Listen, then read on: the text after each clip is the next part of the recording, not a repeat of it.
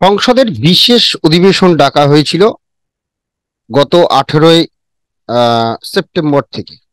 বাইশ সেপ্টেম্বর পর্যন্ত এই যে বিশেষ অধিবেশন সেটা চলছে। উনিশ সেপ্টেম্বর আনা হলো মহিলা সংরক্ষণ বিল। এবং যে বিলটা নিয়ে বহুবার বিতর্ক হয়েছে সংসদে পেশ করা যায়নি, এবার সেই বিল পেশ হলো। কিন্তু এই বিলটা এখন চালু হবে না। এটা চালু হতে হতে এখনও সময় লাগবে, তার অনেকগুলো কারণ আপনারা জানেন। কিন্তু এটা তো হলো। সংসদে পেশ হলো, আলোচনা হলো, পাশ হলো। এই মহিলা ভোটারদের সব দলই, যেমন এ রাজ্যে তৃণমূল কংগ্রেস, তেমনি কেন্দ্রে বিজেপি সরকার, সকলেই পাখিচ্ছক করেছিল। তেমনি আরেকটি পাখিচ্ছক সিএএ সিটিজেন অ্যামেন্ডমেন্ট অ্যাক্ট বিশেষ করে এ রাজ্যের ক্ষেত্রে এই আইন সিটিজেন অ্যামেন্ডমেন্ট অ্যাক্ট সিএএ দু হাজার ষোলো সালে উনিশে জুলাই লোকসভায় এই বিলটা পেশ হয়েছিল, তারপরে সেটা পাসও হয়, আমরা জানি, কিন্তু এখনও সেই আইন চালু হয়নি, খুব সম্প্রতি তা চালু হবে। না, এই আইনে হিন্দু, শিখ, পার্সি, খ্রিস্টান, বুদ্ধ, জৈন এই যে কমিউনিটিরা, যারা পাকিস্তান, আফগানিস্তান, বাংলাদেশ থেকে দু হাজার চোদ্দ সালের একত্রিশ ডিসেম্বরের আগে এসেছেন এবং কোনো ডকুমেন্ট ছাড়াই যারা এসেছেন, তাদের জন্য এ আইন, তাদেরকে এখানকার সিটিজেনশিপ দেওয়া হবে, নাগরিকত্ব দেওয়া হবে, সেই আইন। তো সত্যি সত্যি এবার কি পশ্চিমবঙ্গকে পাখির চোখ করেছে বিজেপি। পঁয়ত্রিশটি আসন তারা লক্ষ্য বেঁধে দিয়েছে এ বঙ্গের বিজেপি নেতাদের। কিন্তু সেটা নিয়ে সংশয় রয়েছে। তাহলে কি? এই যে মহিলা বিল একদিকে হলো, এবারে সিএএ দ্রুত লাগু হচ্ছে। আমরা বিভিন্ন সংবাদ মাধ্যমে, বিশেষ করে ন্যাশনাল যে সমস্ত মিডিয়া, সেখানে দেখতে পাচ্ছি যে খুব শীঘ্রই এই বিল চালু হতে চলেছে। আজকে আমরা এই বিষয়টা নিয়ে আলোচনা করব যে সিএএ কি তাহলে এই বঙ্গে খুব দ্রুত চালু হচ্ছে? আমি বিপ্লব, আমার সঙ্গে রয়েছেন সাংবাদিক অরূপ কালী। অরূপ দা, স্বাগত জানাচ্ছি। অরূপ সংসদে তো মহিলা সংরক্ষণ বিল যেটা, সেটা তো পেশ হলো এবং সেটা পাশও হয়ে গেল বলা যায়। আমরা যখন এই প্রতিবেদন করছি, ভোটাভুটি চলছে, সকলেই মোটামুটি সমর্থন করেছে।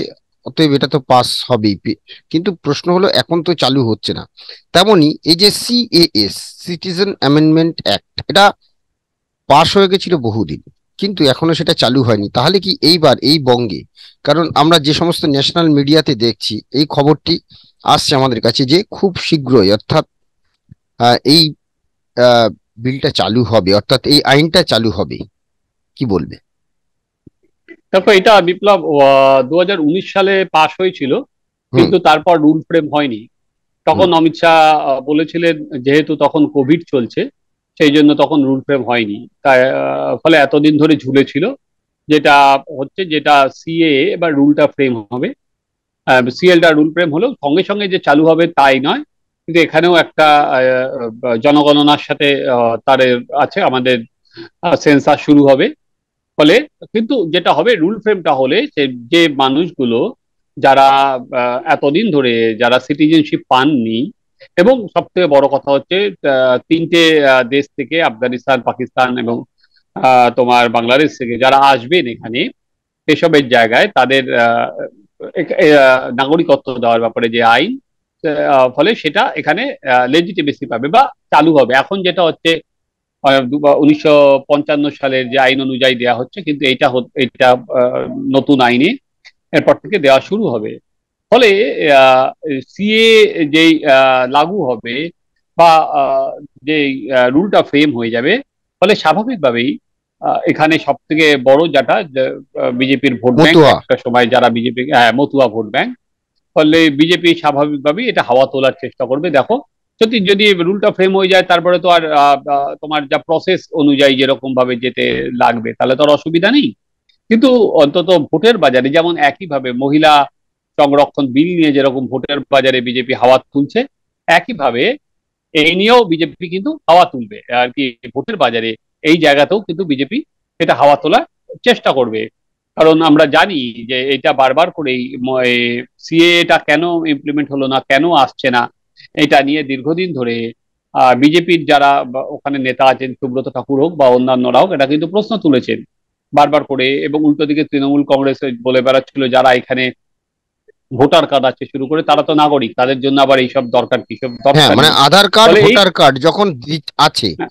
সব থেকে বড় যে তারা যখন ভোট দিচ্ছে তাদের ভোটে নির্বাচিত হচ্ছেন প্রধানমন্ত্রী থেকে মুখ্যমন্ত্রী সকলেই তাহলে আবার কেন নাগরিকত্ব? হ্যাঁ ফলে এটাই তারা হাওয়া তোলার চেষ্টা করেছিল। বা এইটা যদি দেখে, আমরা যদি পঞ্চায়েত ভোট দেখি, সেখানে কিন্তু আমরা দেখব। যদিও বিজেপি বলছে যে পঞ্চায়েত ভোটে ছাপ্পা হয়েছে বা ঠিক করে হয়নি। কিন্তু পঞ্চায়েত ভোটে কিন্তু মতুয়া ভোট অনেকটা সরে গেছে। এমনকি নিজের এলাকাতেই সান্তনু ঠাকুর নিজের বুথে হেরেছেন। ফলে বিজেপিকে তার ভোট পুনরুদ্ধার করতে হলে, আমরা যেটা দু হাজার উনিশে হোক, দু হাজার একুশে হোক, সেখানে মতুয়ারা কিন্তু বিজেপির দিকেই ছিল। সেখানে এই সিএ যদি রুলটা ফ্রেম হয়ে যায়, তাহলে কিন্তু বিজেপি আবার মতুয়াদ এলাকায় এখানে গিয়ে হাওয়া তুলতে পারবে। বিপ্লব, এটা এটা একদিকে। আর একটা হচ্ছে মহিলা। এখন জানি না, মহিলা ভোটটা কতটা, কারণ পশ্চিমবঙ্গে মমতা বন্দ্যোপাধ্যায় বহুদিন ধরেই আর কি মহিলা নিজের আর কি মহিলা মুখ্যমন্ত্রী। তারপরে উনি পঞ্চায়েত হোক এখানে এখানে যেটা বিষয় সেটা হচ্ছে যে এখানে সামাজিক বেশ কিছু প্রকল্প আছে যেগুলো মহিলাদের জন্য বিশেষ করে লক্ষ্মীর ভান্ডার স্বাস্থ্যসাথী প্রকল্প। এইটা কিন্তু একটা বিশাল প্রভাব ফেলেছে। সেই জায়গা থেকে হ্যাঁ। মহিলা সংরক্ষণ বিল চালু করে বিজেপি কি খুব একটা এই বাংলায় প্রভাব ফেলতে পারবে বলে মনে হয়? তাই মানে না তাছাড়াও হচ্ছে মহিলা জনপ্রতিনিধি যে থার্টি থ্রি পার্সেন্ট সেখানে তৃণমূল কংগ্রেস ফুলফিল করেছে। তাই জন্য আজকে কাকলি ঘোষ দস্তিদার আরও বাড়িয়ে বলেছে ফর্টি পার্সেন্ট দরকার। মহিলা সংরক্ষণ তৃণমূল যেটা করেছে ফর্টি পার্সেন্ট দরকার ফলে এখানে দাঁড়িয়ে আমি জানি শুধু তাই নয় আজকে কিন্তু বিজেপি সাংসদ নিশিকান্ত দুবে সোনিয়া গান্ধীর বক্তব্যের পরে তিনি যখন বলতে উঠলেন এই ইস্যুটা নিয়ে তিনিও কিন্তু প্রথম বলেছেন যে কংগ্রেস নয় এটা কিন্তু বাংলা থেকে দাবি উঠেছিল। এবং তিনি গীতা মুখার্জির নাম করেছেন। তিনি বলেছেন যে এই বাংলা থেকেই কিন্তু প্রথম এই দাবি ওঠে এবং সুষমা স্বরাজের কথাও তিনি বলেছেন। আচ্ছা, আজকে একদম গীতা মুখার্জির নাম আজকে ঘুরে ফিরে এসছে। উনি প্রাইভেট মেম্বার বিল তুলেছিলেন সেটা অমিত শাহ গীতা মুখার্জির নাম বলেছেন। গীতা মুখার্জি আর সুষমা স্বরাজের নাম। কারণ গীতা মুখার্জির নাম ঘুরে ফিরেই এসেছে আজকে গীতা মুখার্জি সে তুলেছিলেন এবং সেই সময় সেটা আলটিমেট টেবিল করা যায়নি বা হয়নি সেটা বাধার ফলে। কিন্তু ওই যে তুমি যেটা ছিলে এখন তো তার বিভিন্ন জন্য এবং দ্বিতীয়ত হচ্ছে আর কি প্রতিনিধিত্ব মহিলা প্রতিনিধিত্ব। সেটাও কিন্তু তৃণমূল কংগ্রেস পশ্চিমবঙ্গে অনেক এগিয়ে আছে অন্য দলের থেকে। ফলে মহিলা নিয়ে আমি জানি হ্যাঁ বিজেপি ঢোকার ডেন্ট করার চেষ্টা করবে এখানে। এটা কারণ এটা অন্যতম এবার তুরুপের তাস হবে। এই কারণ ধরো আজকে চারবার এটা প্লেস করা হয়েছিল পার্লামেন্টে হয়নি। পরে একটা কনসেন্সাস হয়নি। সবাই চেষ্টা করেছিল। কংগ্রেসের আমল হয়েছিল দেবগৌড়ার সময় হয়েছিল, কিন্তু আলটিমেট বা অটল বিহারী বাজপেয়ীর সময় পেশ করা হয়েছিল। কিন্তু কোনো সময় তো পাশ হয়নি।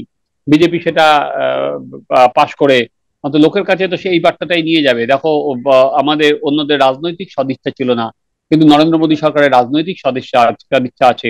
সেই জন্যই আমরা নিয়ে যেতে চাইলাম। এবারে ধরো কবে সেন্সাস হবে কবে তারপরে ডিলিমিটেশন হবে তার উপর নির্ভর করবে। কারণ এটা যদি সেন্সাস বা ডিলিমিটেশন ছাড়া করা হয় পরবর্তীকালে এটা আদালতে কেউ পিআইএল করে আটকে যেতে পারে। কারণ সংবিধানগতভাবে যেটা বলা হয়েছে যে এটা সেন্সাসের সঙ্গে ডিলিমিটেশনের সঙ্গে যাবে। ডিলিমিটেশনের সঙ্গে যেহেতু যাবে তাই জন্য পরবর্তীকালে ধরো যদি ডিলিমিটেশনটা না হয় তাহলে কোথায় কার সিট পড়বে সেটা কেউ জানে না। কি কোন সিটটা মহিলা হবে কোন সিটটা মহিলাদের জন্য সংরক্ষিত হবে এটা তো ডিলিমিটেশন না হলে এটা পারা যাবে না। এবং দ্বিতীয়ত হচ্ছে ডিলিমিটেশন হলে এবার পার্লামেন্টের জন্য অনেক আসন বাড়বে। আটশোর ওপর সংখ্যা এখন যেটা পাঁচশো বা তেতাল্লিশ সেটা থেকে আমাদের আটশোর ওপর আসন সংখ্যা চলে যাবে বিপ্লব। তো সেই জায়গায় দাঁড়িয়ে বিজেপি এবার অল আউট চেষ্টা করবে। আজকে আমরা দেখলাম অমিত শাহর বক্তব্যে যে মহিলা মানে এটা ওদের কাছে কোনো রাজনীতি না। যে মহিলাদের উন্নতির জন্য প্রধানমন্ত্রী কতটা সচেষ্ট, বারবার করে বিভিন্ন প্রকল্পের নাম নিয়ে বলেছিল, ফলে স্বাভাবিক। আজকে বিশেষ অধিবেশন ডেকে যখন মহিলা সংরক্ষণ বিল পাশ করা হচ্ছে, তখন বিজেপি যে এটা অল আউট যাবে। কিন্তু পশ্চিমবঙ্গে আমার সবসময় মনে হয় যে পশ্চিমবঙ্গে যেহেতু মমতা বন্দ্যোপাধ্যায় নিজে মহিলা, মুখ্যমন্ত্রী, সেখানে দাঁড়িয়ে মহিলা সংরক্ষণ বিল নিয়ে বিজেপি এখানে কতটা ঢুকতে পারবে, সেখানে একটা প্রশ্ন চিহ্ন আছেই। হ্যাঁ। প্রশ্নচিহ্ন আছে, কিন্তু সিএএ সিটিজেন অ্যামেন্ডমেন্ট অ্যাক্ট এটা তো পাস হয়েই আছে। এখন রুলটা ফ্রেম হলেই হবে। এবং সেক্ষেত্রে মতুয়া ভোট একটা বড় অংশ, যেটা গতবার বিজেপির পক্ষে ছিল গত লোকসভায় দু হাজার উনিশে, সেটা বেশ কিছুটা সরে গেছে লাস্ট পঞ্চায়েত নির্বাচনে। তো এখন দেখার যে, সত্যি সত্যি যে আর কি এই সিএএ খুব দ্রুত কি চালু করে দিতে চাইছে লোকসভা নির্বাচনের আগেই? আর মাত্র দুদিন সংসদ চলবে। আমরা সেদিকেই নজর রাখব। ধন্যবাদ অরূপদা ধন্যবাদ আপনাদের। আমাদের এই আলোচনা নিয়ে আপনাদের মতামত অবশ্যই কমেন্টস বক্সে জানাবেন। ভালো লাগলে অবশ্যই লাইক দেবেন এবং অবশ্যই আমাদের চ্যানেল সাবস্ক্রাইব করুন। সবাই ভালো থাকবেন। নমস্কার। বাংলা বলছি চ্যানেলটি সাবস্ক্রাইব করুন এবং সমস্ত অনুষ্ঠানের আপডেট পেতে বেল আইকনটি অন করুন।